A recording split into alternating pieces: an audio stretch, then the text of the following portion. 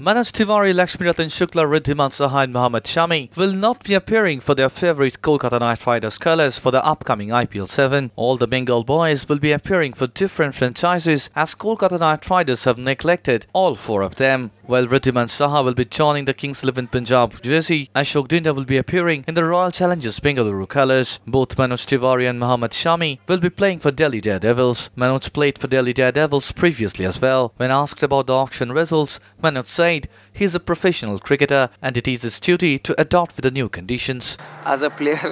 আমাদেরকে আহ, যারা নেবে তাদের কাছে গিয়ে খেলতে হবে বাট যে যেরকম রিয়াকশান দেখলাম টেবলে মনে হলো না কোনো ইন্টারেস্ট ছিল শুধু আমাকে নিয়ে না, বা বাকি বেঙ্গল প্লেয়ারদেরকে নিয়ে কেন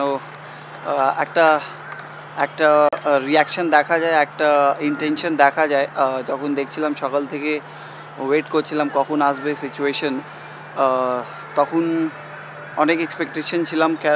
ছিল কি কে কেয়ারের হয়ে খেলতে পারব আগে, কিন্তু যেরকম রিয়াকশান দেখলাম অকশন টেবলে কে কেয়ারের অবভিয়াসলি ডিসঅ্যাপয়েন্ট হয়েছি বাট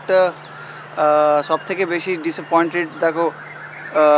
কলকাতায় যত খেল প্রেমী আছে, যারা খেলা পছন্দ করে, আমাদের শুধু আমার না, আমাদের সব কটা বেঙ্গল প্লেয়ারদের তারা ম্যাক্সিমাম প্লেয়ার বাইরেই চলে গেছে দিল্লিতে, আর তাদের পক্ষে অনেক ডিফিকাল্ট হবে, আর তারা তো নিশ্চয়ই ডিসঅ্যাপয়েন্টেড হবে